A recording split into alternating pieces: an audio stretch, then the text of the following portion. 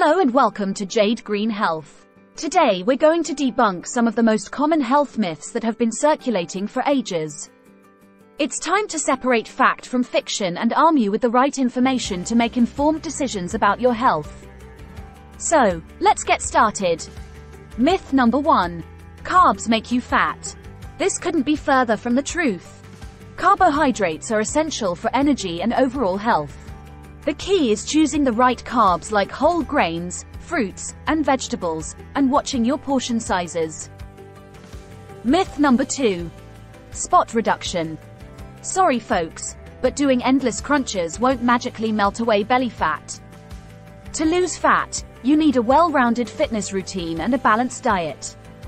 Your body decides where it sheds fat, not you. Myth number 3. Detox diets cleanse your body.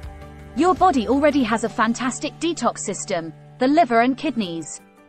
Instead of extreme diets, focus on a balanced and nutritious diet to support your body's natural detox processes. Myth number 4. Sugar causes diabetes. It's not that simple. Type 1 diabetes is genetic, while type 2 is influenced by genetics, lifestyle, and diet. Eating sugary foods in moderation won't give you diabetes, but it's important to maintain a balanced intake.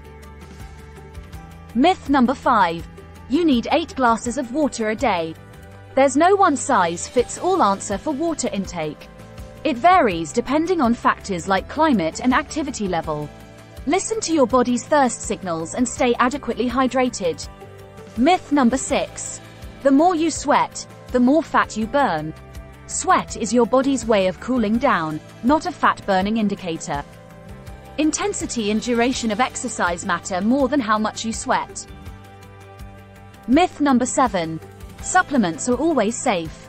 While supplements can be beneficial, they're not always risk-free.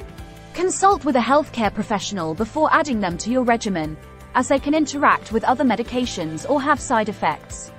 Myth number 8. Skipping meals helps with weight loss. Not true. Skipping meals can slow down your metabolism, lead to overeating later, and deprive your body of essential nutrients. Opt for balanced, regular meals instead. Myth number 9. You can boost your metabolism.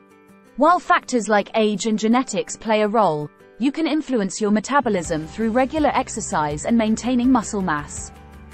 There's no magic pill, but healthy habits make a difference. Myth number 10. Natural always means safe. Nature is full of substances that can be harmful or toxic. Just because something is natural doesn't guarantee it's safe.